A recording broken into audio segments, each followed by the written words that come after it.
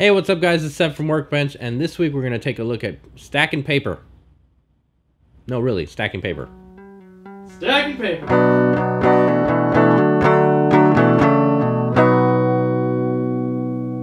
This week we're going to take a look at creating two simple MoGraph setups that I used on a job recently.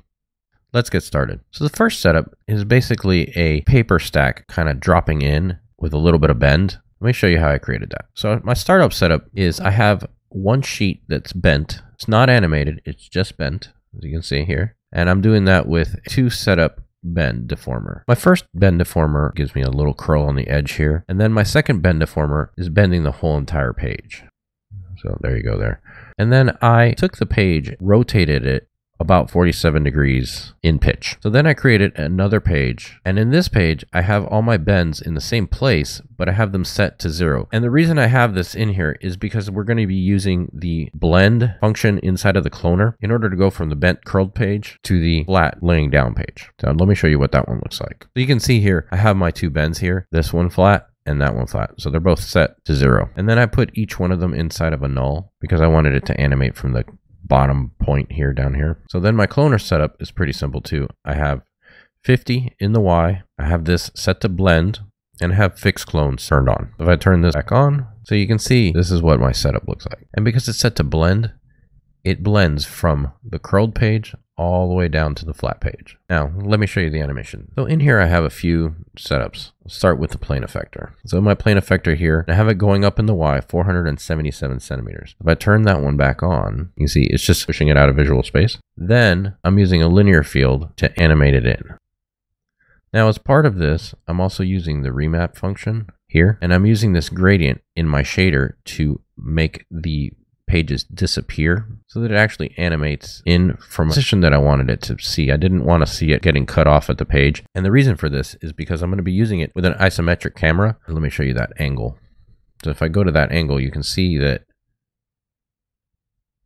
it would cut off funky and it'd be like halfway up here. So I kind of wanted to be able to see it come down. That's the entire setup for the Plain effector. Obviously, I'm using a fall off, or rather a field and it's just a linear field being animated in the Y.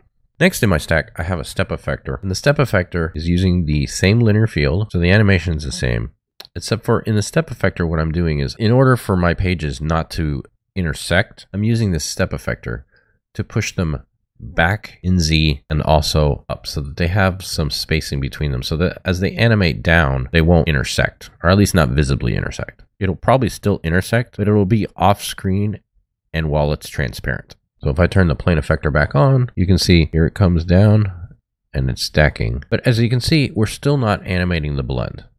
And I'm doing that with another Plain effector. If I turn that Plain effector on, this one up here, you can watch and here. Let me show you the next steps. So I go back to my cloner. I have a delay effector in here, and that's just to give me the nice little bounce I showed you earlier. So I'm going to turn that off for right now. We don't need it. But I'm going to turn on my Plain effector, which is this one here. This one is using a different linear field. And this one is set offset of the other one. I'm going to turn that guy back on. And now if I play back, you can see, see it animating back in. Let me show you how this Plain effector is set up. And I made the linear field that's controlling the Plain effector by just doing a duplicate of it. So it has the same gradient in the color remap. All right, let's take a look at this Plain effector. So on this one, I'm basically pushing it up in the Y and then I'm also pushing it in the Z a little bit. And then in order to use the blend on this one, I'm changing my modify clone here to 100% so that it is actually changing the blend from completely blended to no blend. So if we play this back, So that's the base of the animation. Now, in order to give it a little more life to it, I added two more things. I added the delay effector, and that's set to spring 53% and I'm using position scale rotation and the reason for that is because I do actually have the blend set to rotate so it's actually giving a little bit of rotation as well as just position. And finally, this last one's not actually animated, but it gives you a more sense of realism because if you look at the stack, it just looks too perfect. And even when you render it, it has no visual interest to me. Certainly you could use this, but I think it needs a little bit of visual interest. So I went in and I just created a random. And this random is really just very simply, I'm just pushing the pages just slightly offset of each other and I'm doing a little bit of rotation. So if I turn that guy back on, you can see just gives you just a little bit of extra visual interest. And that's placed at the very bottom of the stack. So it's after all the animation and everything, it's just adding that to it. So if I turn the delay effector back on and I go to my camera view and I hit play here, there's the animation. So one final note is in order for this to render out, you need to set up your shader to use the remap from the field. And how you do that is you go into alpha, go to texture here, and then go to MoGraph and use the color shader. And then in the color shader, under shader, I'm using the color channel. And since I was mapping black and white, that's how this is disappearing away. Let's see.